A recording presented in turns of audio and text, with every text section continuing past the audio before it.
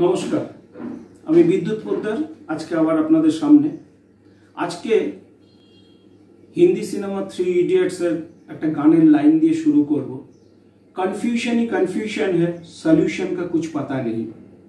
অন্যদিকে সরকার বলছেন all is well এই দুয়ের মধ্যে আজকে জনসাধারণ বিভ্রান্তির মধ্যে পড়ে আছেন।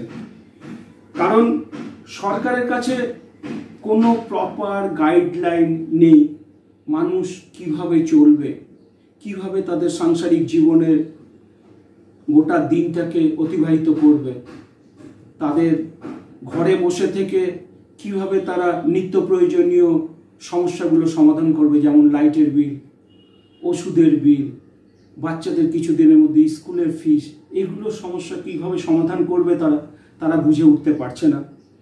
দ্বিতীয়ত একাধারে বলা হচ্ছে পরিবহন সংস্থার দিকে যান চলাচল করবে গ্রিন জোনে, অন্যদিকে তাদের লিমিটেশন বেঁধে দেওয়া হচ্ছে।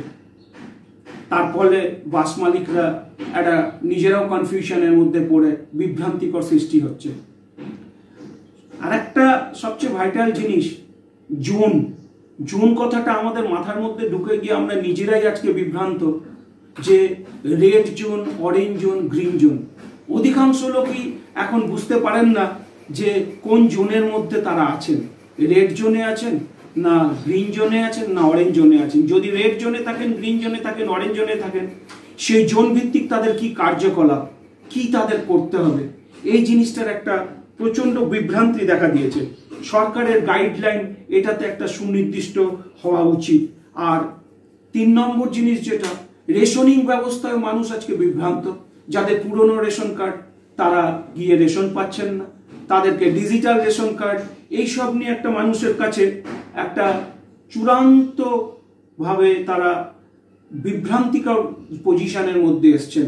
তাই কেন্দ্রীয় সরকার ও রাজ্য সরকারের কাছে একটাই আর্জি থাকবে যে ইউজফুল প্রপার গাইডলাইন একটা বের করুন। সিঙ্গেল ইউজফুল প্রপার গাইডলাইন অর্থাৎ একটা একটা গাইডলাইন বের করুন। যেটা রাজ্য সরকার, কেন্দ্রীয় সরকারের নির্দেশিকায় একই থাকবে এবং জনসাধারণ সেই একটা গাইডলাইনকেই মেনে চলবে যাতে করে বিভ্রান্তি সৃষ্টি আর হবে না। সুস্থ থাকবেন, ভালো থাকবেন সবাই। গাইডলাইন মেনে চলুন সোশ্যাল ডিস্টেন্স মেনে চলুন। নমস্কার।